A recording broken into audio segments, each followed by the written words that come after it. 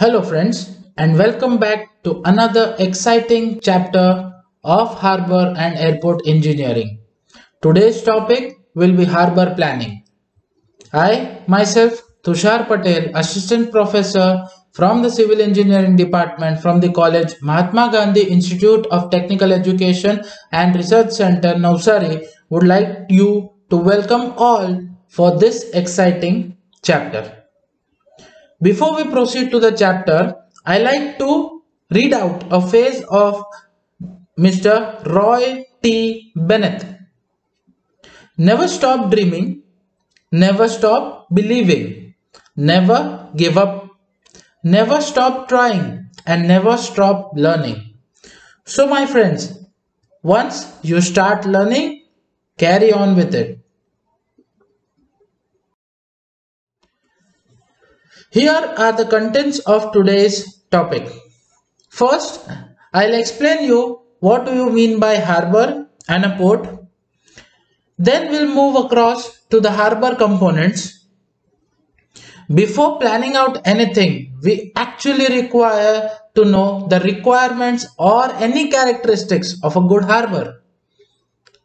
Hence, we will study harbor planning.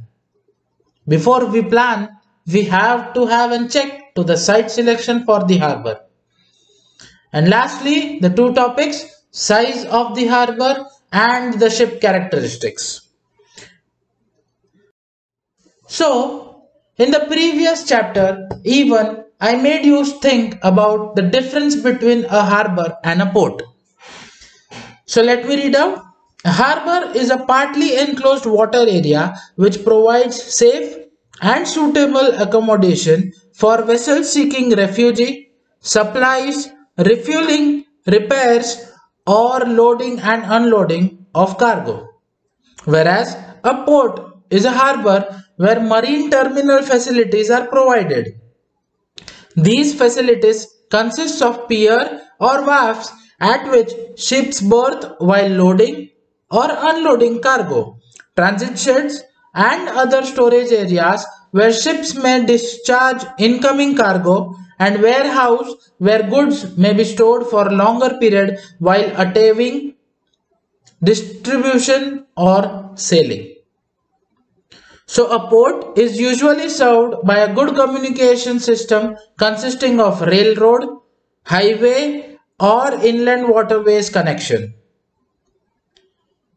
Hence, a port is a place which regularly provides accommodation for transfers of cargo and passengers to and from the ships.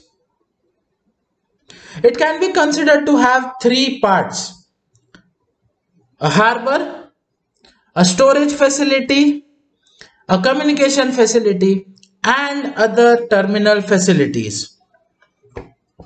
So, Likewise, from the above, it can be stated that a port includes a harbor. That is, every port is a harbor, but the reverse is not true. Every harbor is not a port.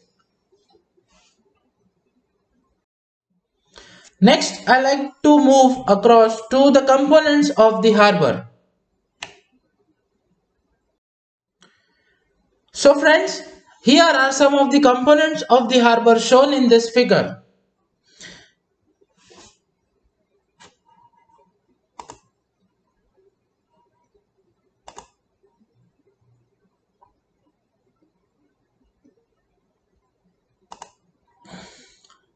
We start with the first component that is the entrance channel.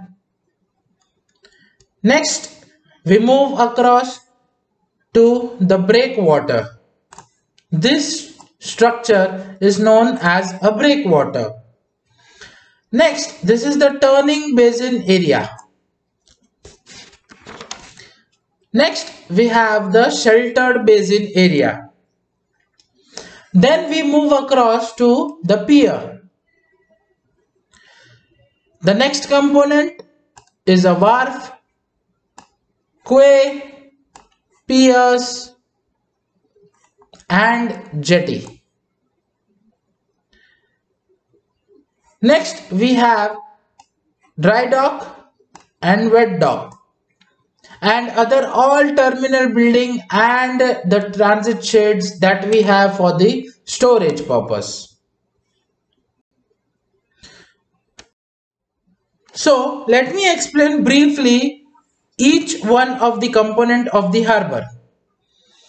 This my dear friends in front of you is a picture of the entrance channel.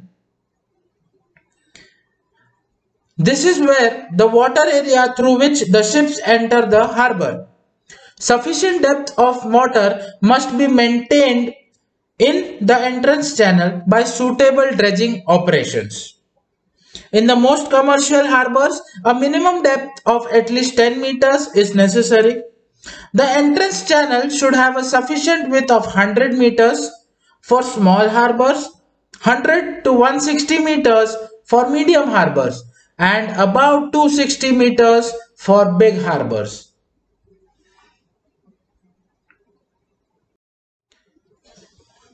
The next component is the breakwater. It is a protective barrier, a wall constructed from the shore towards the sea to enclose the harbor and keep the harbor water undisturbed. The breakwater can be made up of concrete or coarse rubble masonry. Next here in this figure I'll be explaining the turning basin. The water area which is required for manuring the ships after they enter the harbor for going to or leaving a berth is called the turning basin. This basin should be large enough to permit free turning of any ships. The next we move across to the sheltered basin. The area protected by the shore and breakwaters is called the sheltered basin. The elements of the harbor are located in this berth. Next, as we see in the figure, we are knowing this. These components are known as piers. These are solid platforms which project into the water. Berthing of the ships is possible on both the sides.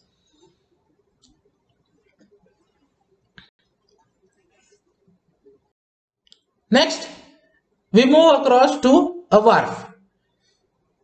This is a docking platform constructed parallel to the shoreline, providing the berthing facilities on one side only.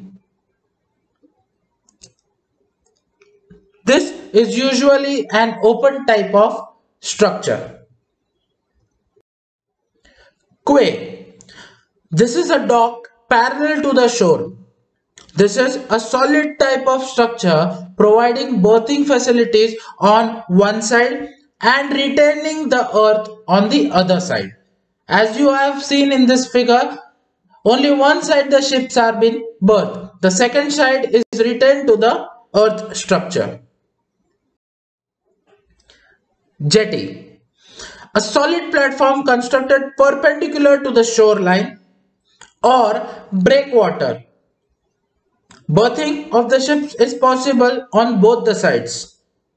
Normally, it is used for handling petrol, kerosene or crude oil. Sometimes a jetty is provided near the entrance channel for reducing the silting of the channel. Next, we move across to a dry dock. It is a chamber having walls, floor and a gate. As you are able to see in this figure, this is the gate. These are the walls and the floor inside it. They are primarily provided for maintenance, repairs and construction of the ships. At the entrance of the dock, a lock gate is provided. This gate will be closed after bringing the vessels inside the dock and then the water will be pumped out to make it dry so that repairs of the ship can be carried out. Next, we come across to the wet dock. A wet dock is there where there are variations in the tidal level It is an enclosed basin which is provided where a number of ships can be berthed. This basin has an entrance which is controlled by a lock gate. The water inside the basin can be maintained independent of the outside water level fluctuations. So in this figure, we are able to see the lock gates. The water inside the gate and outside the gates have a different fluctuation levels. So this water inside is maintained out free from the fluctuation levels of the outside water. Next, we move across to the requirements or characteristics of a good harbor. Naturally, any harbor should be connected to a roadway or a railway for speedy transportation of goods. The goods come into the vessels into the harbor, then they should be transported quickly to one or the other destinations. The land surrounding the harbor should be fertile and densely populated. Ship channels, natural or artificial, must have sufficient depth for draft or a vessel. The bottom should be furnished secure anchorage to hold the ships against the force of high winds. Land masses or breakwaters must be provided to protect against the destructive wave actions.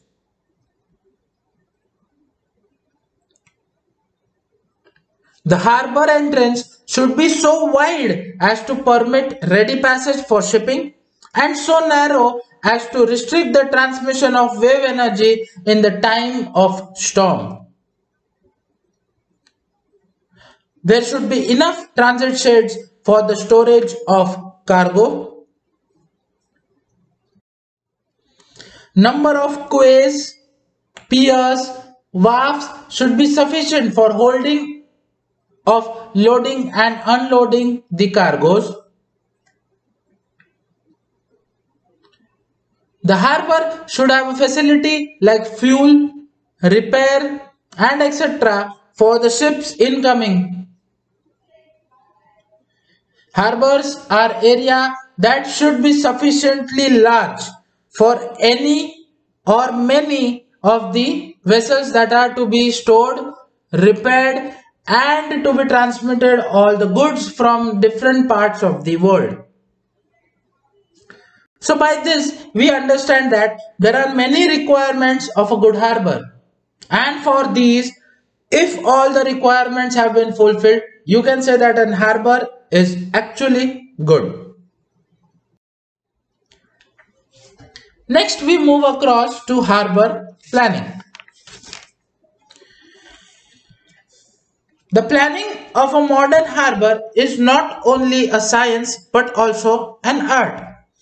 A sound knowledge of the civil engineering techniques as applied to all the marine constructions is required.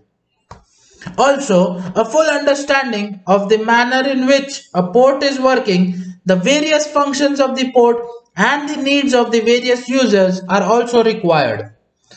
Port should be planned with due considerations for the safety and conveyance of the ships for proper handling of cargo and passengers. Whenever the ships call at a port, they look for a place where they can safely berth, protected from the waves and severe weather and look for a means of discharging and loading of their cargo efficiently. So there are some factors that affect the decision for building a harbor. First, the need for an harbor and economic justification. Second, prospective volume of seaborne commerce. And the third, availability of inland communication by both land and water.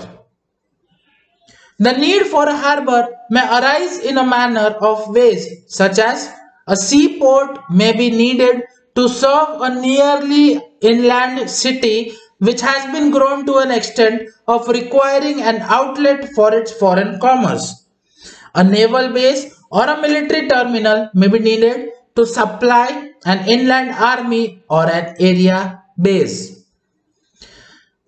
The need for a commercial port will arise when it is required as a shipping terminal for the commodity or product which is being developed and for which no shipping facilities are available. Hence, the important facts that are to be studied and scrutinized are Firstly, it is necessary to carry out a thorough survey of the neighborhood including the foreshore and the depth of water in the vicinity. The borings and the soundings should be taken to ascertain the nature of the ground. The borings on the land should also be made so as to know the probable subsurface conditions on the land. It will be helpful in locating the harbor water works correctly. One should know the nature of the harbor, whether it is sheltered or not sheltered. The problem of silting or erosion of the coastline should be carefully studied. The existing of sea insects which undermine the foundations should be noted. The natural meteorological phenomena should be studied at the site, especially with respect to the frequency of storms, rainfalls, ranges of tides, maximum and minimum temperature, direction and intensity of wind, humidity, direction and velocity of currents, etc. These all important facts are to be studied before and at the time of planning a harbor. Next, we move across to the site selection for a suitable harbor. The main function of a harbor is to provide a sheltered area where vessels can moor. An easy accessibility of harbor implies a wide and straight approach. Following are the some factors that are should to be kept in mind or considered while selecting the site for the harbor. Firstly, availability of cheap land.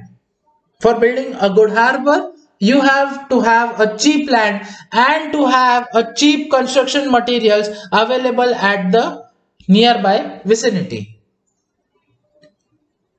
The transport and the communication facilities to the harbor are to be maintained. Natural protection from the wind and the waves. It is to be studied the industrial development of that area. For any site selection of an harbor, seabed, subsoil and the foundation conditions are necessary. Traffic potentiality of a harbor is to be checked. Availability of electrical energy and fresh water is to be maintained. The land is to be checked and the water is to be checked for favorable marine conditions.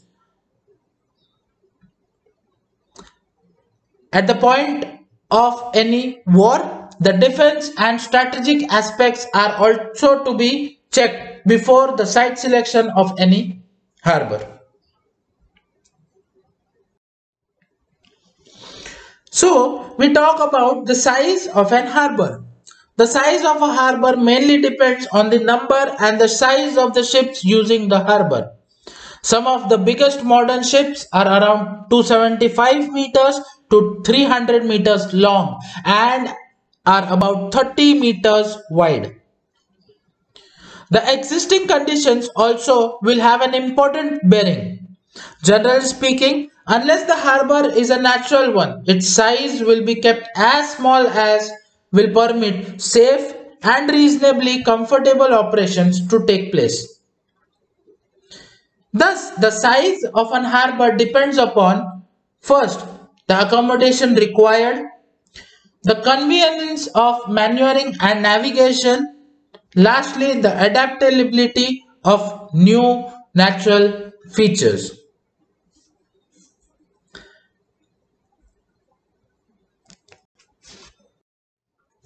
Next, we consider the width of the entrance of the harbor. The entrance is to reduce the wave height within the harbor. The entrance width should not be more than that necessary to provide safe navigation and also to prevent dangerous currents when the tide is coming in and going out. The entrance width should be in proportion to the size of a harbor and ship using it.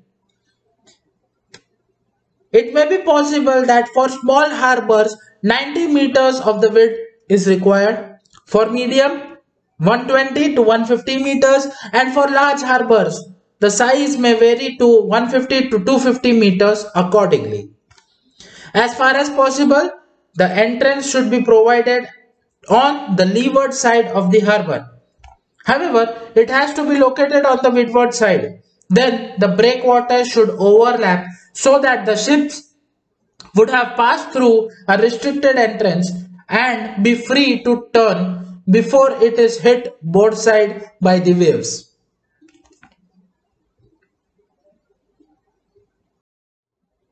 So considering the width of the entrance channel, here is a figure showing you the approximately width of a channel and how it is to be located.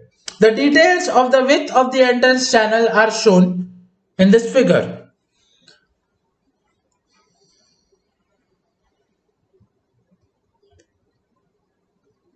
For a single lane traffic, if it is to be considered, then we have to consider the length equals to 4b plus 2 where the B represents the ship clearance lane width.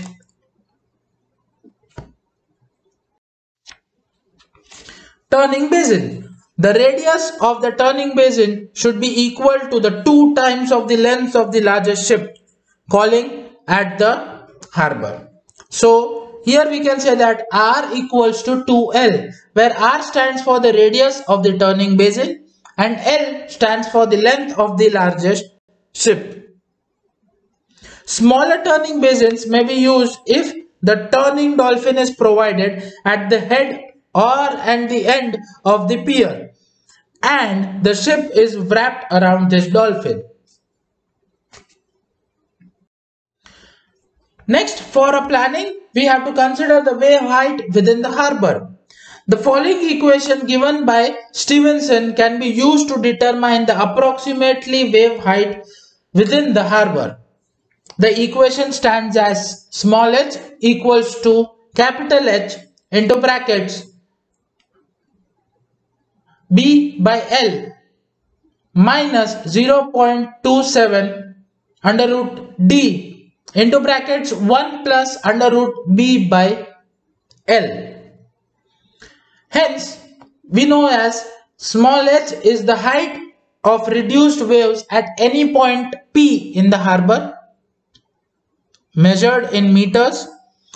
Capital H is the height of wave at the entrance measured in meters. B is breadth of entrance measured in meters.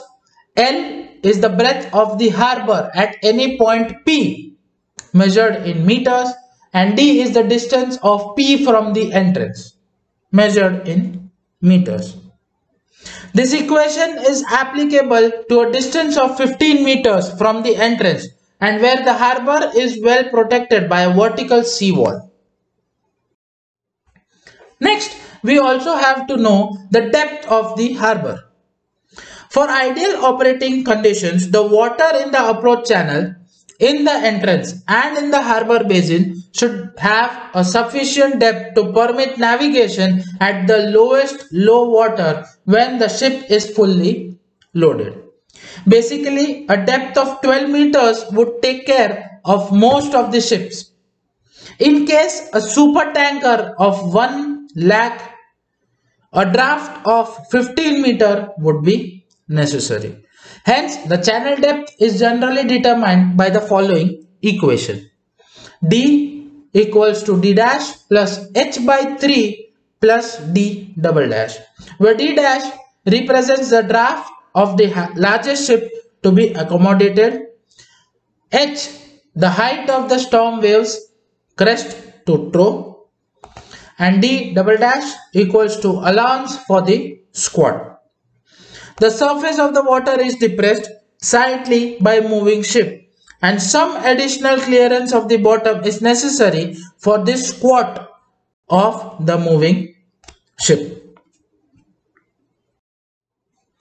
Hence, there are some ship characteristics that are to be noted. Since a harbor is designed and constructed for providing berthing, that is accommodation of ships in the berth and cargo handling facilities for the ships, it is necessary to be familiar with the various ship features related to harbor planning. So first, we have to know what do we mean by a load line. It indicates a line or a set of lines on the outside of motion ships showing the water level to which they may legally be loaded.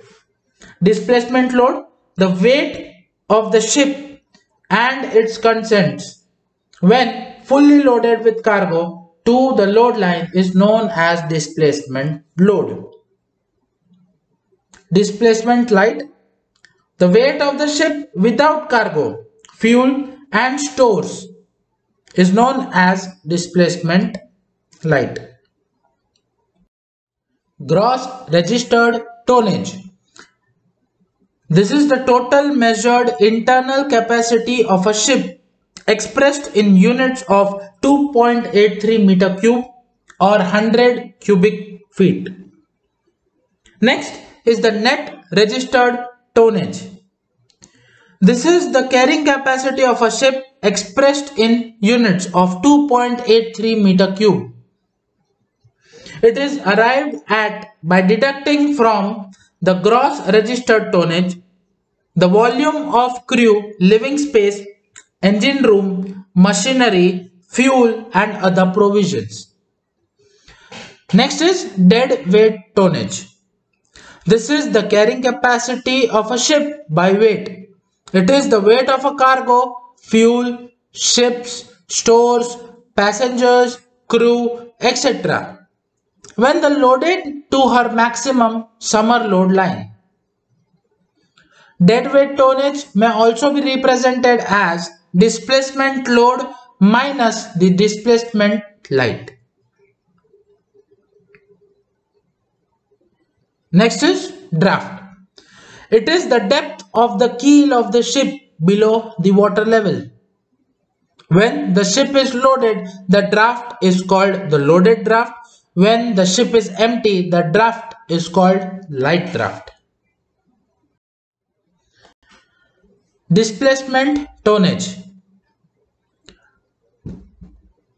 This is the actual weight of the ship it is the weight of water displaced when afloat and may be either loaded or light.